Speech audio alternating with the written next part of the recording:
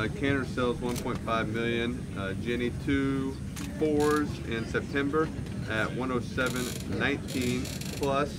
Thanks for trade and for supporting Charity Day. John, you're done. John, you're done. Thank you. All right. All right cool. Hey, appreciate it, pal.